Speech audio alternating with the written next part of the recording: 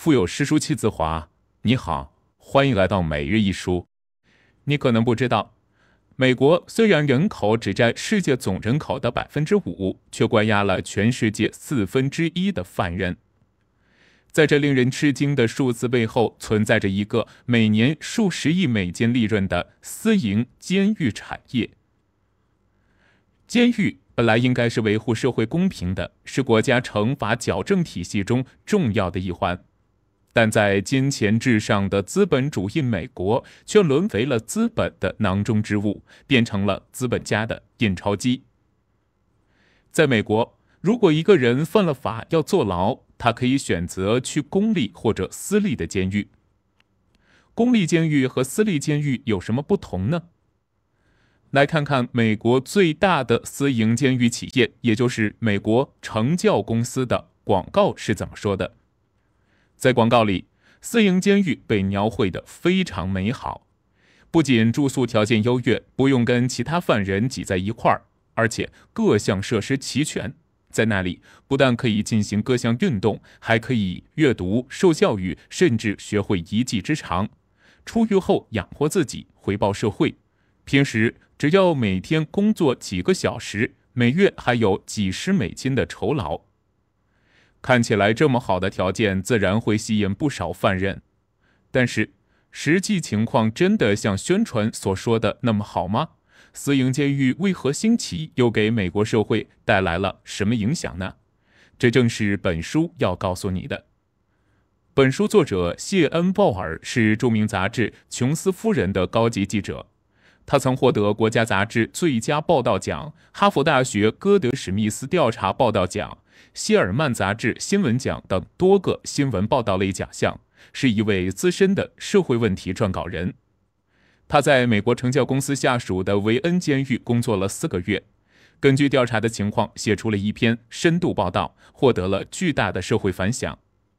本书就是在他这篇报道的基础上，加入对美国私立监狱更深入的调查扩充而成。相信通过这本书，你会对标榜人权至上的美国的真实社会和人权状况有更多的了解。好，今天我将分三个部分为你讲述这本书的内容。第一部分，我们先跟随作者回顾过去，看一下私营监狱和美国资本主义发展的血腥历史有着什么样的联系。然后在第二部分中，我们回到当代，了解一下以美国成教公司为代表的私营监狱企业到底给社会带来怎样的影响。最后，我们来看看作者对美国监狱制度改革提出了怎样的建议。好，那么我们首先进入第一部分，我们先来看一下私营监狱制度的由来和历史严格情况。根据作者的研究，其实私人管理囚犯这事儿并不是近几十年才兴起的，而是伴随美国整个历史发展一直不断出现、发展和衰亡。我们可以通过几个重要历史事件了解到它的发展脉络。私人管理囚犯其实早在美国建国前就出现了，只是当时的美国是作为英国流放重刑犯的重要目的地。英国政府制定了运输法案，按每名囚犯五英镑支付给运输公司费用。到了殖民地后，英国政府允许这些公司代替政府处置囚犯。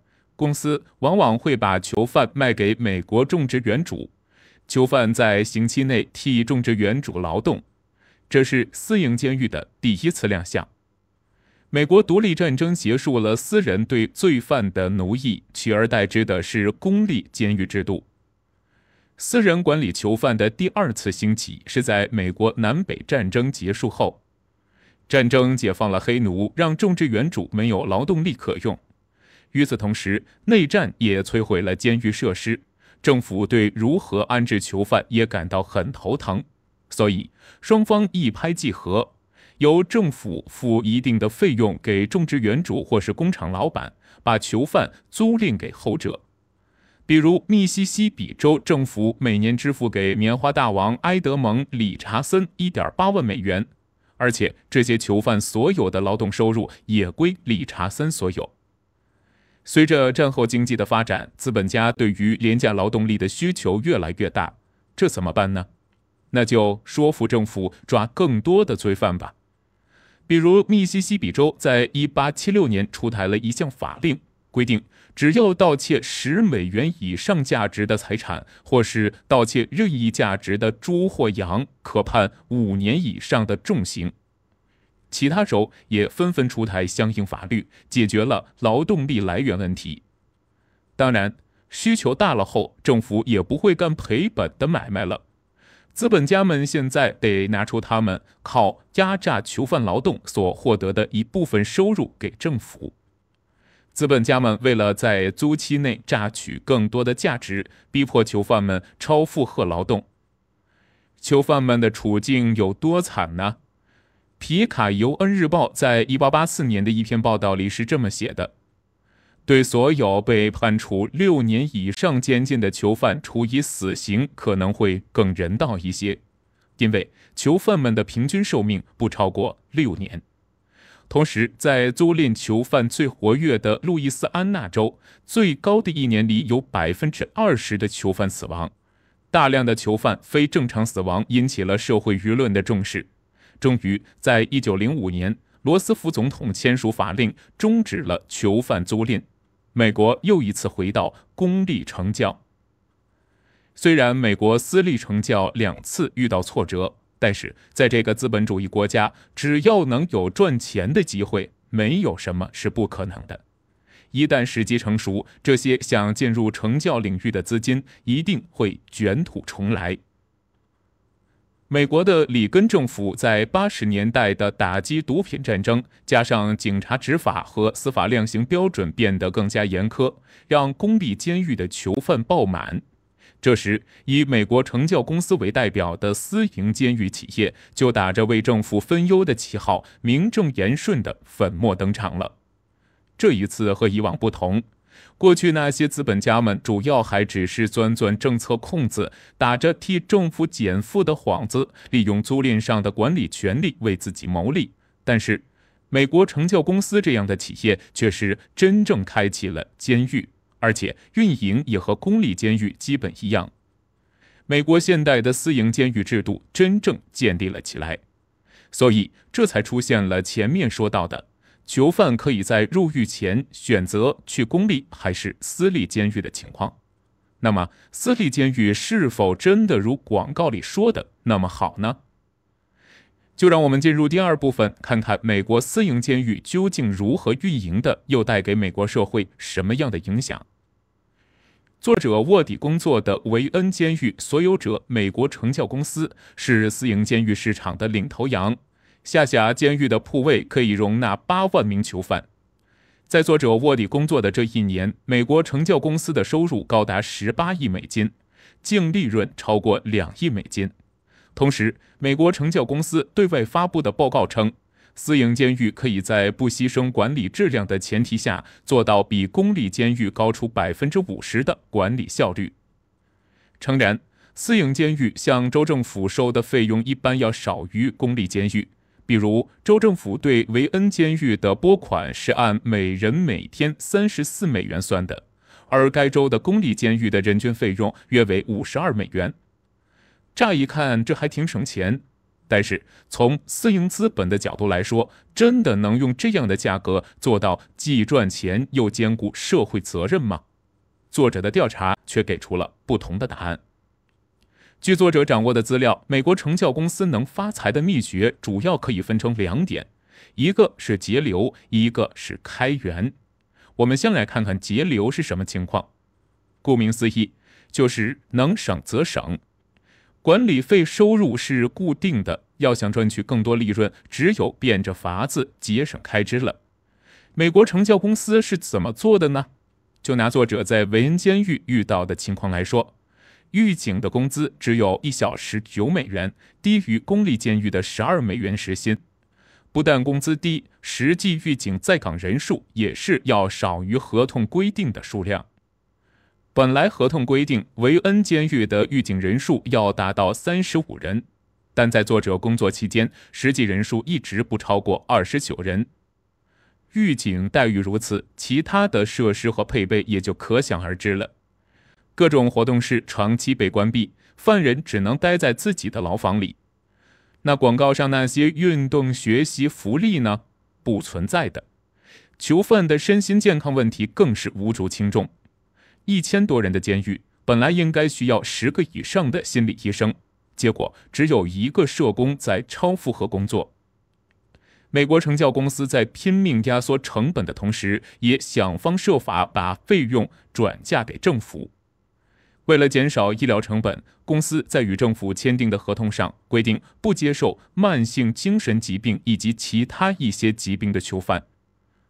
除了无所不用其极的所谓节流措施，私营监狱为了接收更多囚犯，维持丰厚利润，也绞尽脑汁进行了所谓的开源。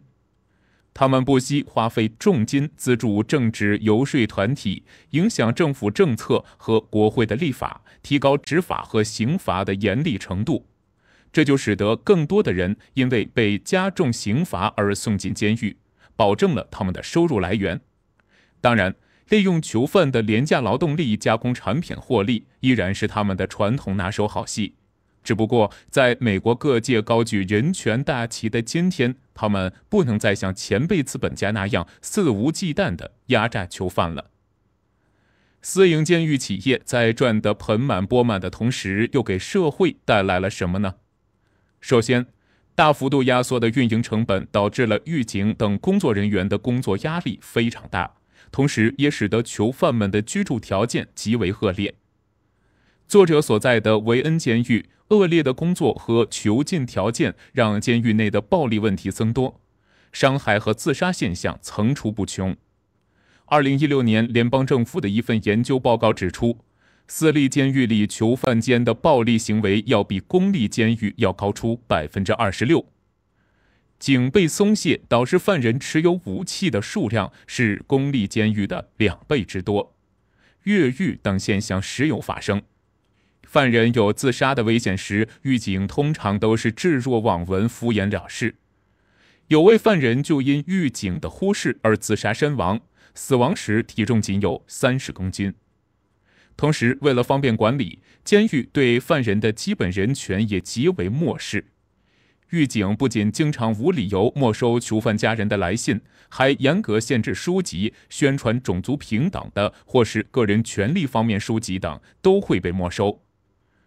私人监狱企业为了获利，还会做出延长犯人刑期的勾当。有位维恩监狱的犯人，只因未到规定时间就擅自拿来扫把打扫浴室，而被加判一个月。这一个月的时间，公司会获利近一千美元。那么，犯人因为生存环境而投诉，又会如何呢？一位狱警表示。这十五年来，几百件投诉里，只有屈指可数的几件得到了解决。犯人在监狱里得不到应有的对待，出去后再次犯案的可能性就会大增。美国犯罪率连年居高不下，就和私营监狱的管理失灵有很大的关系。本来，私营监狱是政府为了节省开支的举措，希望通过市场的方式高效地解决问题，但从结果上看，除了私营监狱公司大赚特赚外，无论是狱警、囚犯还是整个社会，都是输家。既然私营监狱无法解决问题，甚至会制造出新问题，那么面临诸多问题的美国政府又应该如何抉择呢？这就来到我们今天要说的最后一部分，看看作者对私人监狱的问题有什么建议。这第一个建议。当然是需要政府担起应有的责任，不应该再把监狱成教这样的关乎社会公平和稳定的事情随意的推向社会了。在作者的报道刊登出来后，一些州的政府机构积极响应，派出第三方审计机构对私营监狱进行更为详细的审查。结果发现，对政府来说，盈利性的监狱比公立成本要更高。只有改善公立监狱的条件，才是有效解决各类社会问题的正途。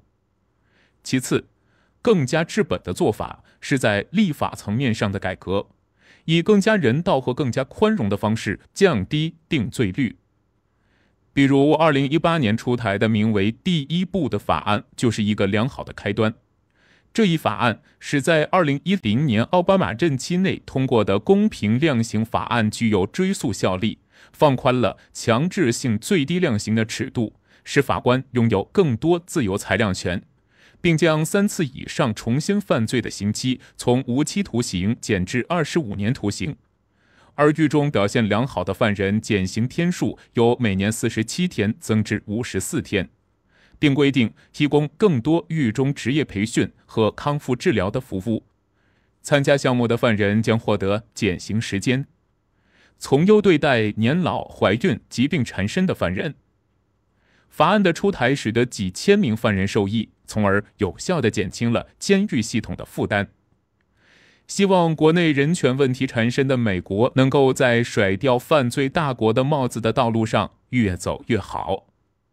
好了，到这里这本书的主要内容就分享完了。让我们再一起来回顾一下今天的内容。在第一部分里，我们跟随作者一起翻开美国的历史，回顾了私人监狱行业的起源和发展变迁中的重大事件。在第二部分中，我们看看当代私人监狱给美国带来了什么。最后，我们了解一下作者对解决私人监狱所带来的问题有什么看法。